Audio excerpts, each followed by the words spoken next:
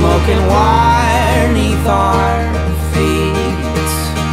Yet we dig for flowers through the cracks in the street. And you'll see our blood through the pores.